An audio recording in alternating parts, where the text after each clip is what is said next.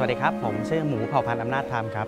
เครื่องดนตรี vibraphone แล้วก็ marimba glockenspiel็คือเป็น keyboard percussion ครับความประทับใจของโปรเจกต์นี้เนี่ยก็คือว่าปกติแล้วเพลงที่เป็นพ็อปหรือว่าพ็อปแจ๊สอะไรพวกนี้ไม่ค่อยมี vibraphone หรือว่าเครื่อง